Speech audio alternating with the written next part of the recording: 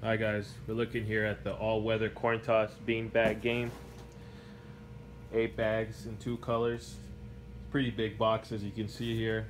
Full size. Comes nicely packaged. And here's the bean bag driveway game. Let's open it up, see what's inside.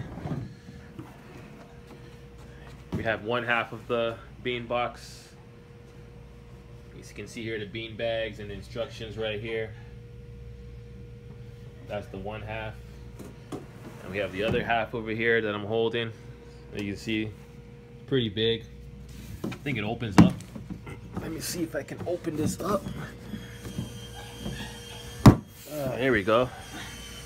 I'm not sure how this all puts together, but it's nice and sturdy.